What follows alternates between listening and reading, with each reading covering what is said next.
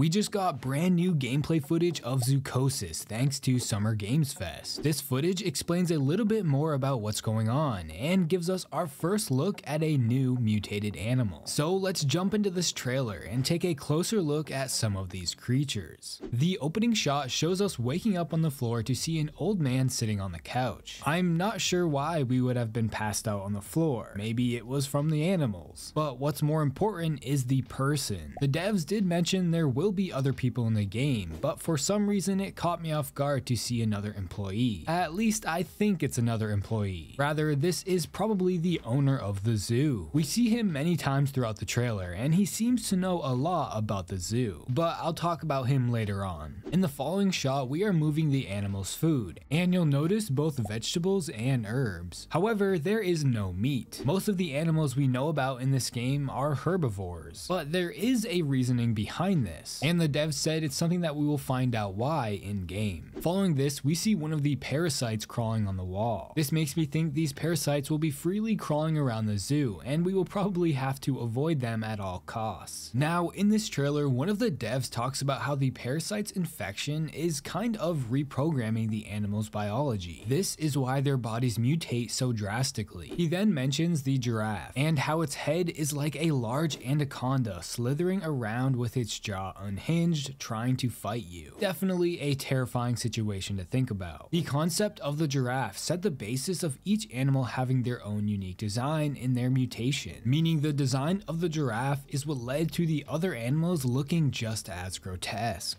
After cutting up the food and taking it to the train, we hear a loud bang on one of the doors and ask what it is. The guy here says it's something in the works and that we are not ready to know about yet. This could mean a few different things things. Maybe this guy, presumably the zoo's owner, knows about the mutations and is actively supporting it, meaning he wants the animals to mutate for some reason. Or this could mean he just knows about it and isn't ready to tell us because he thinks we might quit our job. Yeah, I would definitely leave if he told me what was really going on. Now, I don't think this person is bad or evil, but I do think he knows a lot about what's really going on. I mean, instead of stopping it himself, he is just letting us do the dirty work, which I guess makes sense if he's the owner and we are the employee. But still, he definitely knows more than what he's letting on. I'm sure he will play a big role in the game. The trailer then cuts to one of the devs talking about the game. I'm not going to try and pronounce her name because I know I'll butcher it, but she is the one that's very active in the Discord server, often answering questions. She talks about how the plot of Zoochosis was written in the best traditions of the thriller and horror genre. The team aimed to create a dark atmosphere resembling the works of horror and mystery writers like Lovecraft and Edgar Allan Poe. She mentions how this was achieved through lighting placement, color correction, textures, and environmental props. So the devs are really focusing on the atmosphere and setting of the game to fully enhance the horror experience. This is great to hear, meaning they won't just be relying on the animals for the game's horror. She also talks about the many different endings of the game, how each of the endings depend on the choices we make during our playthrough. The team dedicated a substantial amount of time structuring the paths and dialogues into unified frameworks to ensure seamless functionality. So there won't just be different cutscenes for all the endings. Each one will have its own unique path with different dialogue and an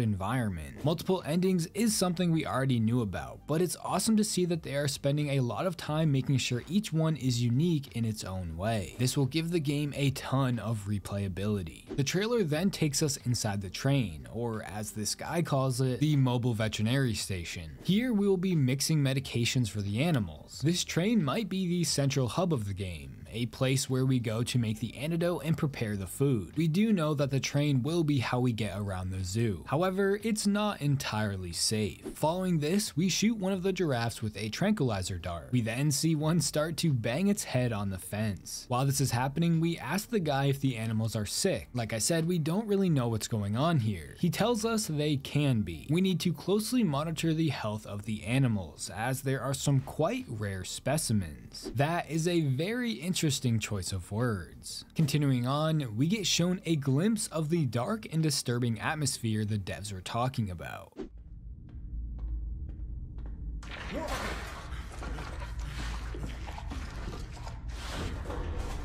This massively long mutated arm pops out in front of us. I'm not sure what animal this is from. I don't think this is from anything we've seen yet. This could be the same hand we saw from the train. But the dark hallway and blue lighting really gives us that eerie and unsettling feeling, showing us what the dev was talking about. And we see the arm again when we turn around. I wonder if this creature will be following us throughout the game, giving us scares. Continuing on, we get an up close look at the mutated kangaroo. This thing thing looks terrifying. Its eyes are completely gray with its mouth and tongue enlarged including many sharp teeth. As the kangaroo stands up on its back legs to scream, we get an awesome shot of its second mouth. This is in place of the kangaroo's pouch. It has mutated into another mouth, also including many teeth. It seems to also mimic what the other mouth does. When it screams, the second one does too, which is a cool detail. I can't wait to run into this monster in the game. Which brings us to the mutated hippo. This creature looks incredible. It's both cool and horrifying. It perfectly represents what a mutated hippo might look like. A normal hippo's teeth are usually long and sort of stick out, and the teeth on this mutated one greatly represents that, even including the two pointed out bottom teeth. What's also interesting is the teeth act as its mouth and jaw. It's like a giant claw with fingers. Its bones are also overgrown. You can see the spine protruding out of its back back, and even a shoulder or leg bone is sticking out. The bones in its feet are also exposed. The detail on this animal is just incredible. However, its eyes are red, which is different from the mutated kangaroo. So this could mean something, or it could just be a design choice. The hippo also has these weird bubbles growing out of its back. I can't get over how cool this thing looks. I can't wait to run into it in game, although we should definitely stay away from it. One of the last shots in the trailer is kind of interesting. This guy tells us that every zookeeper is entitled to a service car and then shows us his, being this red one. If we perform our job well, we will get one in the morning. So this means if we do our job correctly and make it out alive, we will be rewarded with a new car. I guess that's a pretty cool incentive. Now this girl next to the car is actually our wife, as said by the guy. He then asks if he should tell her that we are going to be staying here overnight and to keep in mind that he is locking us in in until morning. This gives us a little bit more backstory as to who we are, which I can appreciate. The final shot of the trailer shows us getting a blood sample from an animal and petting a penguin. This makes me wonder what the penguins might look like mutated. I was not expecting this new footage, but it was so cool to see and I'm glad they gave us a look at the mutated hippo. I am so excited for this game and I can't wait to play it.